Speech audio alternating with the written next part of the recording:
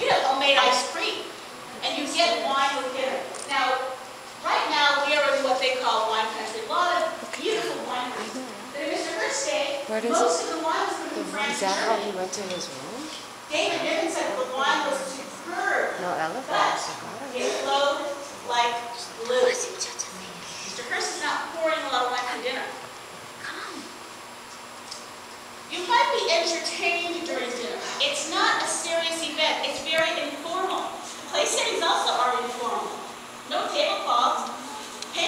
napkins, condiments in the bottle, and this is how we had it.